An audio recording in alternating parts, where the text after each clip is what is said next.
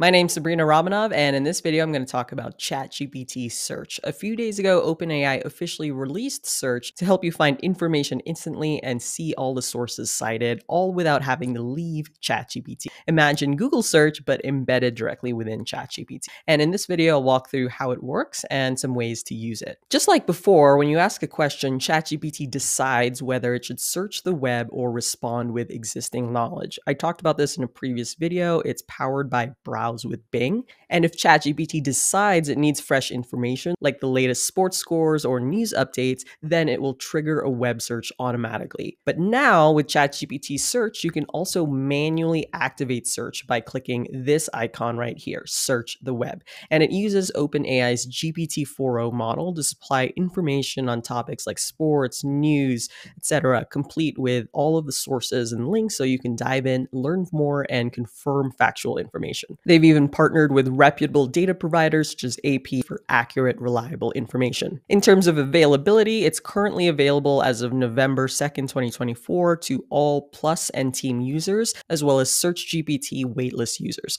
Enterprise and education users will get access in the next few weeks, and free users will get it over the next couple of months. So to try it out, log into ChatGPT. And again, you can manually enable it by clicking search the web here, or if you type a query that requires fresh recent information, ChatGPT will automatically search the web. As a simple example, let's just ask what's the weather in Salt Lake City, Utah? Okay. And you can see here ChatGPT says it's searching the web and it has this nicely formatted answer pulled from weather.gov. And I see a severe weather advisory until Sunday because it's starting to snow here. And you can see links embedded throughout its answer. Here's National Weather Service. And if you want to see all of the sources that were used, click sources. Here's the citation. The top one is the National Weather Service. It also shows you the search results. Now let's ask about trending news. Tell me about the fake Halloween Halloween parade in Dublin that AI generated. Searching the web again, it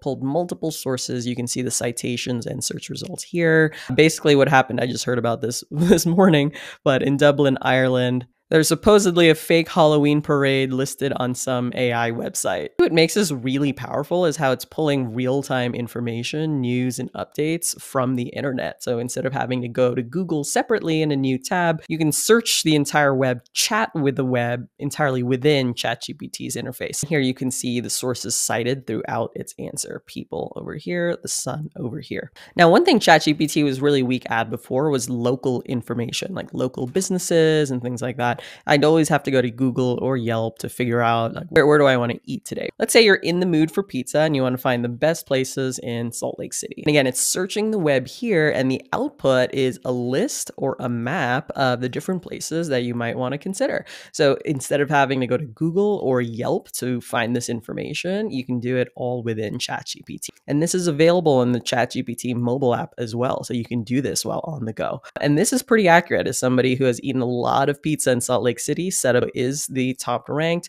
The pie is really awesome too. Bricks is awesome for Detroit style pizza. Rusted Sun is, is amazing as well. The list of the best pizza places is spot on. If you click directions, it opens Google Maps, making it super easy. This is the website you can call. And now let's say you want to ask a follow up question. Let's say you don't really want deep dish or Detroit style pizza. Let's say you want Neapolitan type pizza. Okay. Now ChatGPT instantly followed up by narrowing down the list to Neapolitan type pizza. Settebello again, number one, absolutely. Instead of having to go to Google or Yelp and like filter by what kind of pizza and look at the pictures and things like this, you can simply talk to ChatGPT. You're talking with the entire internet. And if you want to learn more, all of the sources over here. Now, similarly, ChatGPT search can give you real-time sports updates. I don't know much about sports, so I'm just going to ask ChatGPT, give me the most exciting sports news today.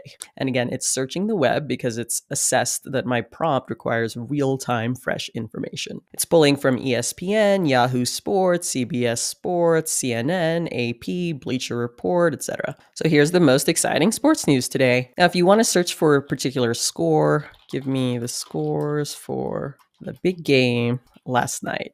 And again, I don't know much about sports, so I'm just hoping that this works. Okay, so here's the NBA schedule and a bunch of scores for the game tonight, Friday, November 1st. Now I want to illustrate the difference between using ChatGPT without access to the internet versus using it with access to the internet. This is a really simple example. We're going to ask ChatGPT to define the word serendipity. Okay, and here you can see it didn't say searching the web anymore like it usually does. It's actually using its existing knowledge without having to search the internet. But now if I click search the web, this is telling ChatGPT explicitly I want it to search the internet. So now we're, we're going to say define serendipity. Now it's searching the web. Okay, and it gives us a definition from Merriam Webster, the dictionary. This is a really simple example, but I encourage you to try it with the types of prompts that you usually use. Test it out with ChatGPT search to see the difference in responses. Now, I want to illustrate it with a more realistic example. Let's say you are trying to figure out which social media platform you should start on for your new business. So you ask ChatGPT, what is the one social media platform I should start on as a complete beginner? You must recommend only one. Okay, so hit enter. And here ChatGPT did not search the web. It's using its existing knowledge and it recommended Instagram. Okay, now I'm going to turn on search the web, type in the same prompt. Now it's searching the web, a bunch of different sources, and now the answer is different. For a complete beginner, Facebook is an ideal starting point with nearly 3 billion monthly active users. Okay, whereas before its recommendation was actually Instagram. And this is really important because trends may change over time, year over year. I believe ChatGPT 4.0's knowledge cutoff is late 2023. And so for questions where you want the most recent information, like what should I do today in late 2024, it can be really useful to explicitly turn on search the web. And the last thing I want to cover is that OpenAI also released a companion Chrome extension called ChatGPT Search. And there are many confusing clones and stuff, so I'll provide the correct link in my newsletter. This Chrome extension makes ChatGPT your default search engine instead of Google. Yeah, so you can replace use of Google altogether. Even if you're using the Google Chrome web browser, which I do, it will redirect your new search request to ChatGPT. And for any particular query, you can always opt out by typing in exclamation point G and then your search query. So I'll show you how that works. First, go to this link, okay? Make sure it looks like this, ChatGPT search, okay? And this is how it's gonna look. So I'm gonna show you, I'm gonna add it to Chrome here, and you're gonna see when you type in the browser, like what's the weather, it's gonna default to ChatGPT and open ChatGPT in a separate tab. Add it to Chrome, and now it's been added to, and let's try that again, like best pizza in Salt Lake City. And you can see here, it's saying ChatGPT search, clicking enter. You guys may not see this pop up, but I see a pop up that asks me whether to change it back to Google search. So Google Chrome is already fighting this Chrome extension. It wants you to change it back to Google search. So I type best pizza in Salt Lake City. ChatGPT opened this new conversation. You can see there's no additional history and it answered my question in this new ChatGPT chat. Now, if you absolutely want to use Google search, okay, go to the search bar and type exclamation G and then type best pizza in Salt Lake City okay, exclamation G. And this will route the query over to Google search and open your answer in Google search just as you're used to. This is obviously a very big move from OpenAI to keep you within the ChatGPT ecosystem. You can search the internet, chat with the internet without ever having to go to Google. So it's incredibly powerful. The Chrome extension makes it easy to use everywhere, incorporated in your daily workflows, and you can always default back to Google search if you need. All right, my name's Sabrina Ramonov. Hope this video was helpful. And don't forget to subscribe to my free AI newsletter, sabrina.dev, where you can get free ChatGPT prompts, playbooks, and more.